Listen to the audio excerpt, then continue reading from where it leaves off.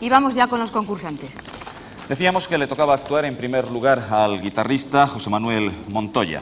Son 20 años los que tiene, una ilusión tremenda, como todos los concursantes, a todos ellos desde este primer momento.